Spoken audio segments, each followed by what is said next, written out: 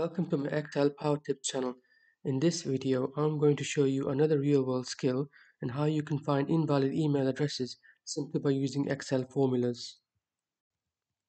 So here we have a list of email addresses. Some of them are invalid and some of them are invalid. For the invalid ones, uh, I've created a number of columns which looks at each uh, email address and depending upon what the category of the error is, gives a uh, information in terms of what the uh, the invalid uh, issue is. So, for example, uh, column C, no dot. Column D is no at. Uh, column E, there's two ats, which is incorrect. column F, there's a leading space at the beginning.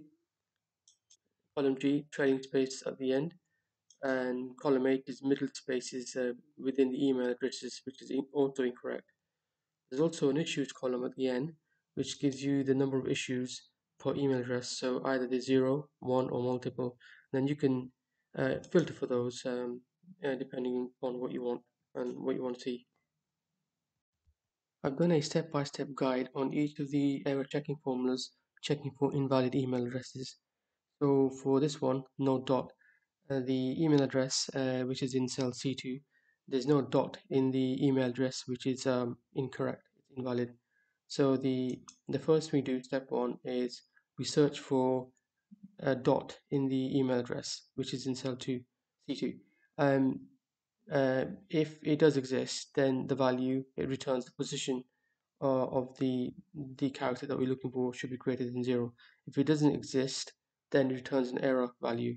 So in this case um, it is returning error value so next thing, step two, rather than show an error value, uh, we wrap it around an is error function and check to see if it's true. And the next step three is uh, if it does equal true, we're wrapping that is error formula uh, within an if statement.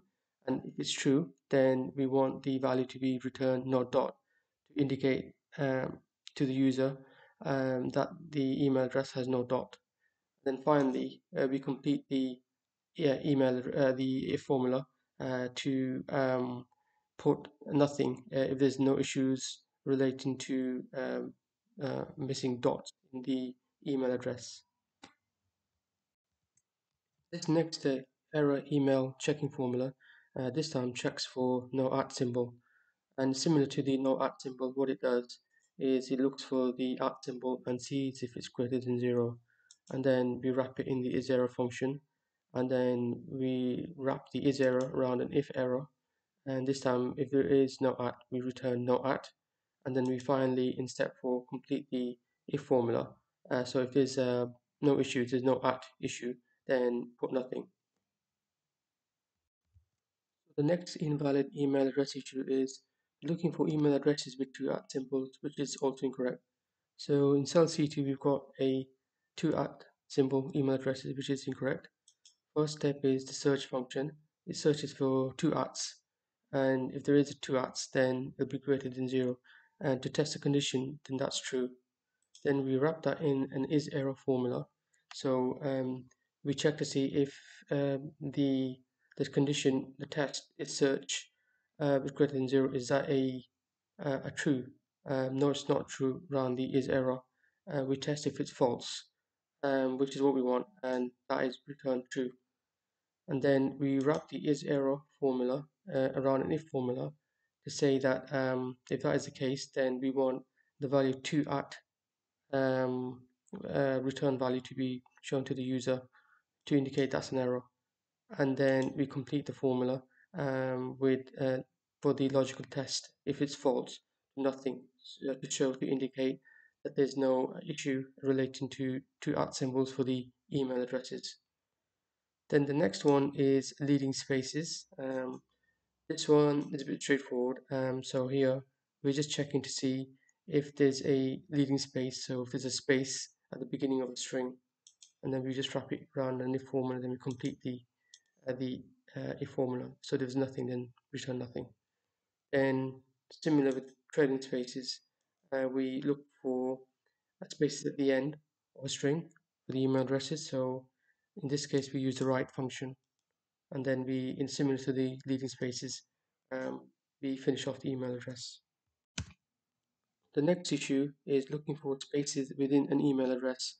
So these aren't spaces at the end or the beginning, but at the uh, within the email address. So I've expanded C to the email address. So as you can see from the position, we've got a space here and we've got a space uh, here, um, uh, which uh, needs to be um, identified uh, within the error checking formula. So first thing we do is uh, we trim the email address um, with the spaces uh, at the end, sorry, at the, within the email address, but trimmed on either side. So if there's any spaces on either end, in this case, it's got a trailing space at the end that needs trimming. The trim function um, uh, cuts off any space at the beginning and the end. So uh, we can just look at the um, the issue relating to uh, the spaces within the uh, within the email address. Then next thing we do is we find out what the length of the um, trimmed email address is. In this case, it's 30. And then the next thing we do is uh, for the trimmed email address and we we if there is a space we substitute using the substitute formula the space with nothing then um, with the substituted trimmed email address uh, with the space substituted with nothing we look at the length of the um, email addresses once those operations for step 2 and 3 have been done so um, in this case, it's 28. Then step five, um, we subtract the value for of um, of eh, the number in step four from the value in step two, and we get a value of two. And then um, we wrap that around a if formula. So if the email address was fine in terms of there's no middle spaces, then that should be zero. Um, but if there are spaces, then that will be greater than zero and then you will see um, a value returned by the formula to say it's middle spaces so the user can see that the issue um, category is uh, middle spaces for this one. And for all other cases there's no middle spaces then return nothing. Finally we create a issues count column which simply counts the number of issues for each email address. There's a total of a maximum of six issues I've created for each email address. And what uh, the formula does is it counts the number of blanks. So those with no issues uh, within the the full uh, set of six columns takes it away from the number six and then that will be then what will be left will be the number of issues for each email address so it's useful so that if you um, click on the filter drop down and then you can see those uh, email addresses with either zero issues, one issues, or more than one issue. So let's go for um, email addresses with two issues. So here are email addresses with two issues. They might not necessarily be the same, but in terms of the number count is two. So here uh, we can see this one here um, in cell B20. There's two at symbols there, which is which has been detected. And there's also a, a trailing space at the end which you can't see but it, it exists uh, let's go for uh, email addresses uh, which have four issues um, so you can see here um, uh, there's no at symbol uh, uh, for the email address in B36 and there's also leading space trailing space and and and as you can see there's a middle space as well take that and I hope you enjoyed watching this video and I'll Hope to see you on the next video. Stay tuned.